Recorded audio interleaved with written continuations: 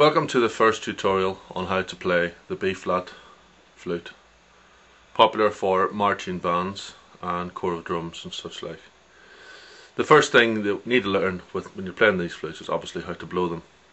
Once you've mastered how to blow the flute properly, the rest is a lot easier.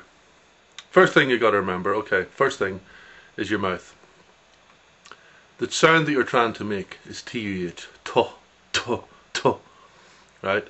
You tighten your lips and you put your tongue behind your teeth. And if you imagine there's a little bit of tobacco on your lip, this is the way I was taught by my sort of tutor.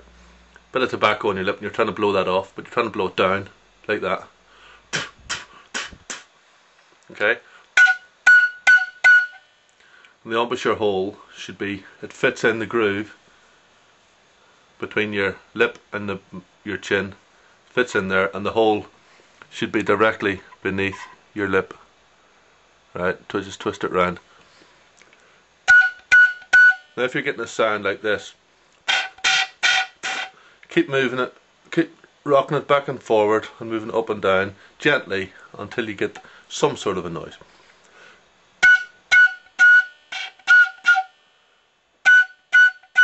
Once you've got that sound proper, then you know that once you put your fingers down on all the other holes, you're going to get different noises.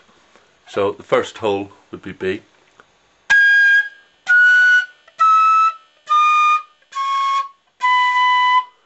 That's B, A, G, F, E, D.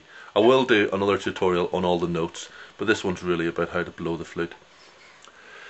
Okay, we'll do that. We'll just do a quick review on that. So, you tighten your lips, put your tongue behind your teeth, and you dry spit down as if you're trying to blow a flake of tobacco off. Right. And you make sure the embouchure hole there is directly underneath your lip and that just fits in the little groove between your lip and your chin. It nearly rocks back and forward. Maybe it's because I've got a big chin, I don't know, but it works for me. So, hole, and you're doing the dry spit down.